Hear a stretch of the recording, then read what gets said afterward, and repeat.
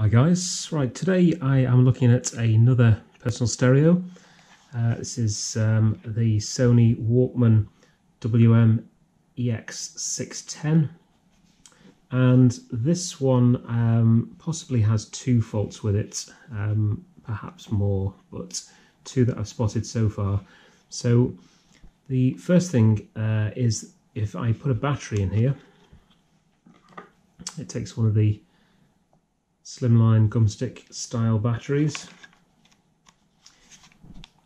There is nothing out of the player at all, so it's completely dead. But these players have um, two terminals on the end, these two here, and this was for an external um, battery um, pack. So it took a, a double A battery and clipped on the end. I don't have this, but the uh, the power from that battery just fed these two terminals here. So this is the positive, and this is the negative.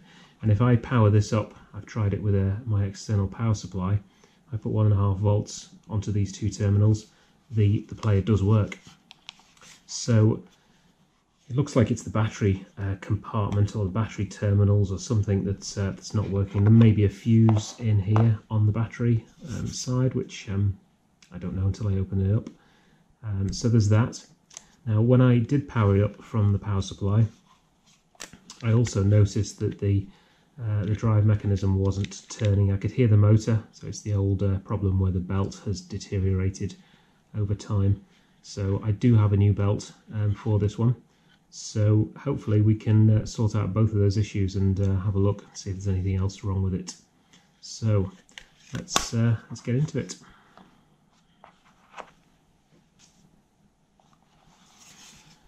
Right, so looking around the case, let's have a look. So this back panel needs to come off by the look of it to get access to that belt. So there's two screws on the case there. Another two here and one here. So let's start with those.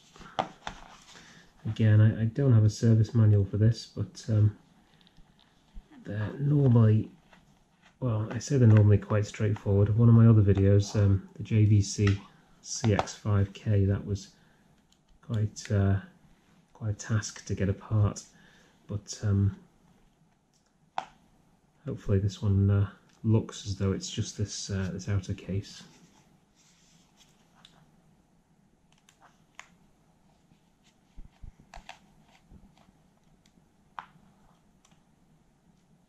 These screws are all looking the same size so far.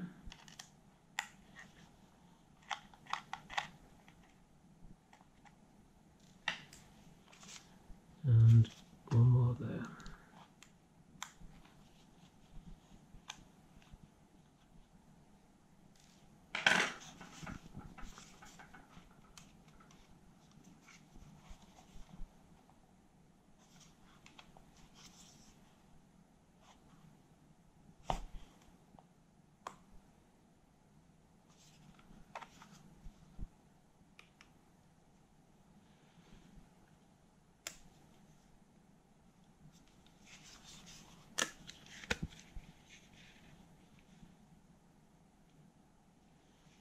Doesn't look as though there's any screws inside here holding it together.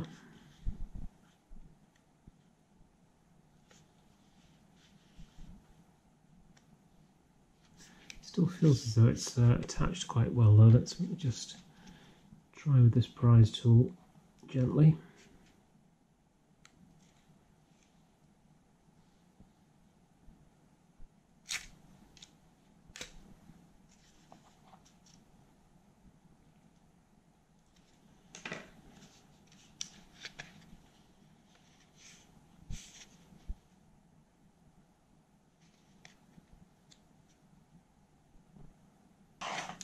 So it was the battery lid that needed to be removed. Um, I'll just show you here. So the, plastic plastic lid slides along this metal piece and there's a little clip at the end so you just need to this little clip just needs to be lifted up slightly and then the uh, the plastic lid here just slides off and that was that was what was stopping the case coming apart so you need to push that back in now out of the way and then the uh, the case will come off. So that's what was stopping it.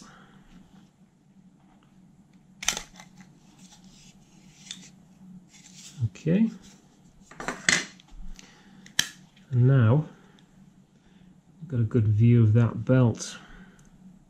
So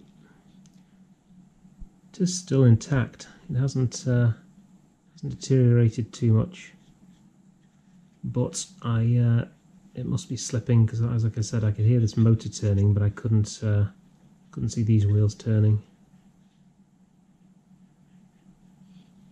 Doesn't look too bad though. Let's have a look at this battery compartment first. So if we look at the end we can see the two terminals that um, are powered when the external battery terminal is on, uh, battery pack rather. So one and a half volts here, the player works, but one and a half volts here on the battery does not work. The battery terminal is looking good condition, I can't see any corrosion on there.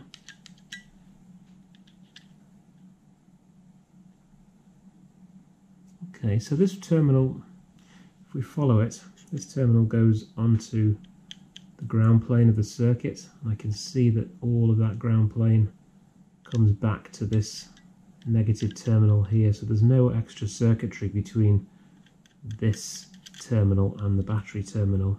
No fuses or anything. And it's the same for the positive actually. So this door here, this is um, this makes contact with the battery at the at the positive end.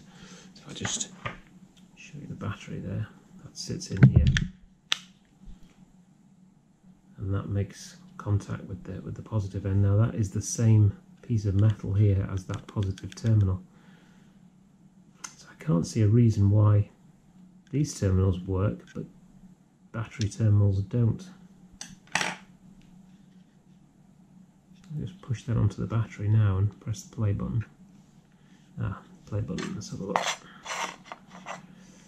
So there's the buttons, they match up with these switches here. If I press that and press the play button, nope, nothing there. Okay, let's uh, just bring the multimeter in and we'll just check the continuity between these terminals and the uh, external battery pack terminals.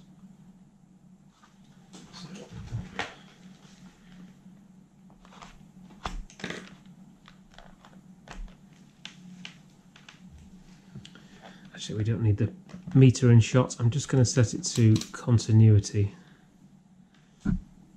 So when the probes are touched, we get a we get a beep if there's a continuous circuit there. So let's try the positive door here and the positive terminal. Oh, nothing.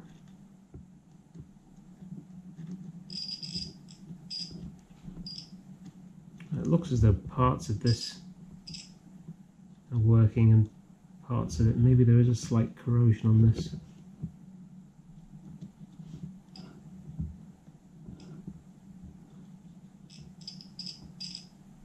I think it's just a bad contact. Let's just check the negative. That's fine.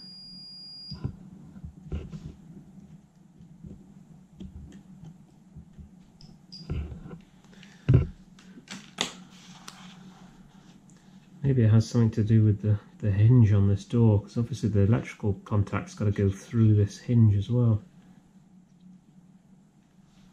I can see a slight bit of green on there. Don't know whether you can see that. I think this has had a, a leaky, a leaky battery at some point. I think what I'll do is I'll just uh, I'll get some isopropyl alcohol and I'll just clean this up and then I'll uh, I'll come back and we'll see if that's sorted the power supply problem. So the issue appears to be the actual hinge itself. I've taken a picture on my phone so you can see it in a little more detail. So this is the uh, the hinge here and as you can see there's some green corrosion here from as I said I think it must have had a leaky battery at some point on this hinge. It's just it's not making electrical contact properly between this door hinge here and um, the the other contact in the phone. So what I'm going to do is I'm going to give it a good clean. Uh, might even unscrew this because it, it, just unscrews this um, this whole assembly here and I might uh, just soak it in some alcohol for a bit um, just see if I can clean off that corrosion. So uh, I will do that and then I will come back. Okay so I discovered what the problem was with this. The door includes a little um, sort of swipe piece of metal that, swipes uh, you might just be able to see it. Let me um, point it out this camera is not set up for macro, so um, might be a little bit difficult to see. But I open and close the door, you see this little, the end of the door here has this little metal piece. But what happens is when this closes, that metal makes contact with the top of this metal here. So it, it, it's not it's not making a contact now, and then when you close the door, it does make a contact. Now what had happened was this metal wasn't making a tight connection to the top. So as I as I closed the door, it was still um, not making contact with the metal. So all I've done is just bent that metal up slightly. So if you're having an issue with the battery not making a contact, then it could be this little, um, like I said, it's difficult to see on this camera, but that, that little bit of metal there, you just need to bend it upwards and uh, and you'll feel this this making like a, a, tight I can feel it it's a tighter connection now as that uh, makes contact. So if I connect up the meter again.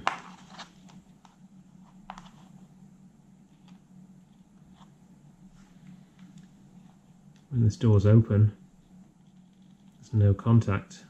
As I close it I've got contact now so that's what that was.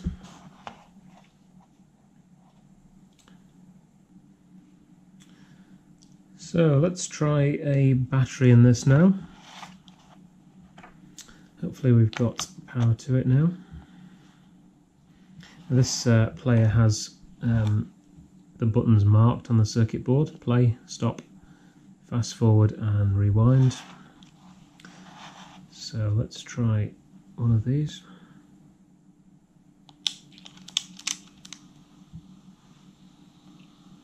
Okay. And uh, yeah, that's um, that's fixed the the power issue. Now we still have a problem with the belt. It actually, it's got a tape in now, and it is actually working. It looks as though that belt is performing as I'd expect. What I think I will do, I will replace this belt anyway um, I have a new one here. I know that uh, it was slipping before when I uh, when I tried it with the power supply, so I'm going to go ahead and replace this belt anyway. So uh, we'll do that now. So the path that the belt takes is around this capstan wheel, along around this idler, around the motor, around the second capstan wheel, and back to the start. The only thing stopping you taking this belt off straight away is this metal plate here. This is the battery negative terminal and there's a piece of metal that goes from the terminal down to the base of the machine just inside there. So that what needs to happen is this metal needs to be lifted up slightly, the belt. You can see this metal plate just lifts up from one edge. Now we don't need to take it all the way off, it's soldered on the other end. If we just lift it up enough, we should be able to just get this belt underneath. So let's unhook it from the wheels.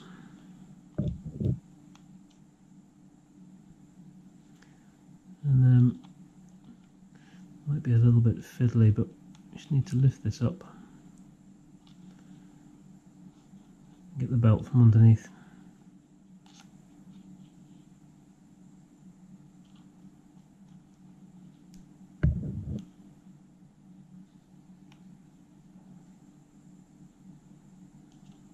That's it.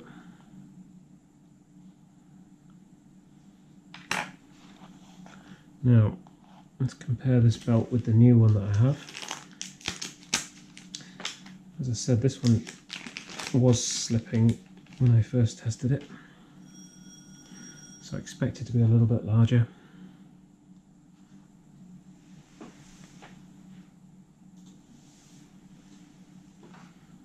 Yeah, and you might be able to see there the diameter of this um, older one is is larger.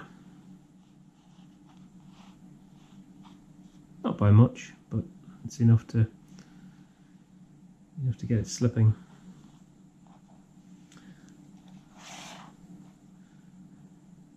Okay, so refitted this. Need to slip this underneath that metal plate. So I'll lift it up and just put it underneath, that's it.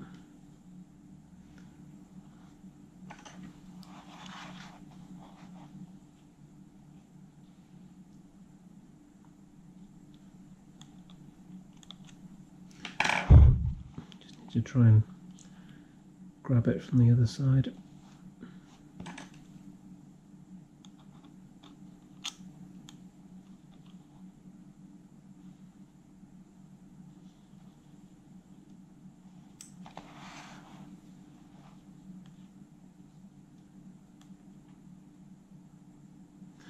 Put that one around the motor.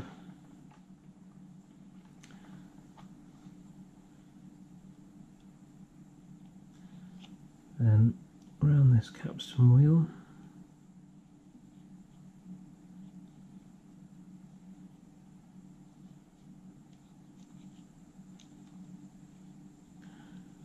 Around the second capstan wheel.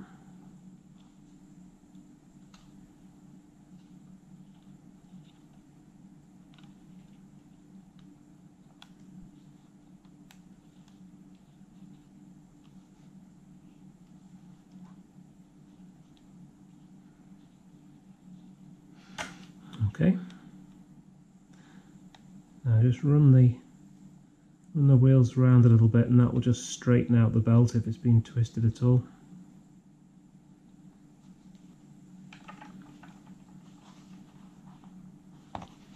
Okay, let's give it a quick test.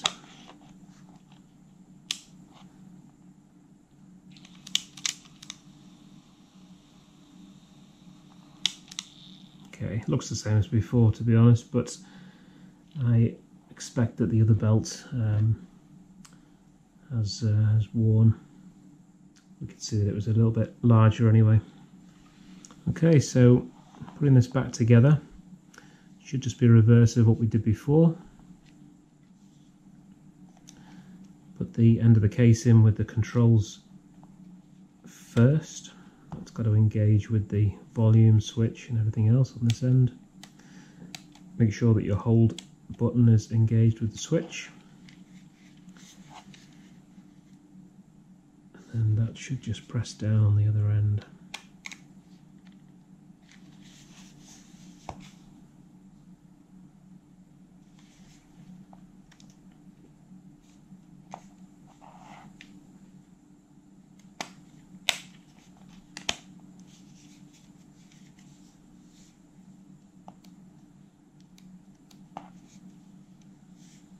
Looks okay.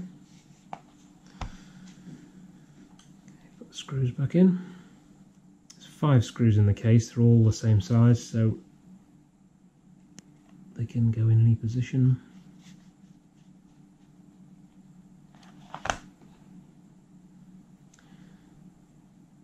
So it's a good idea not to over tighten the screws, especially on these little stereos that have um, the thin metal cases you over tighten them it will distort that metal.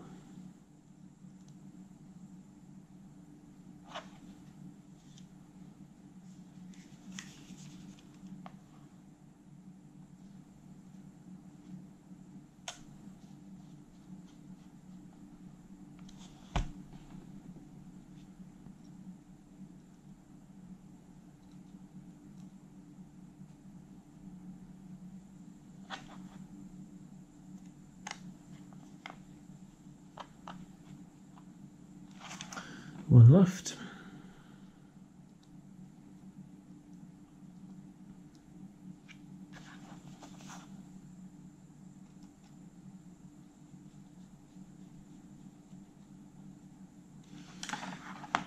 Okay, last thing to do is the battery compartment door. And this plastic, as said before, it just slides down the plastic channel and the little clip at the end just engages at the, at the end. So as you slide it in, a little click and that's it. Okay, let's just quick check, make sure it's still working.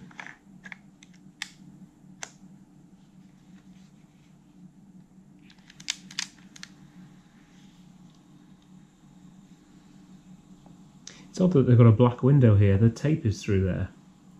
So if it was a clear window you'd be able to see the tape um, spindles turning. It's the, uh, it's the only one I've seen that actually has a window but it's, it's dark and you can't actually see the tape in it. Don't see the point of that. Just get some headphones.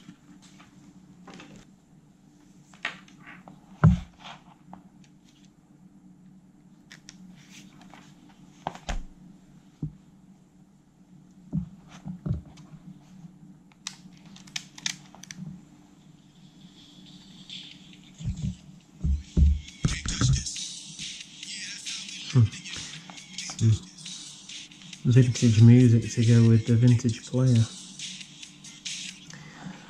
Okay. Well, that's good. That is all repaired now. It looks as though it was just those two faults, the power supply and the belt. So this is back to uh, working condition. So hope you found this video interesting. Uh, if you like it, give me a like. Thanks for watching.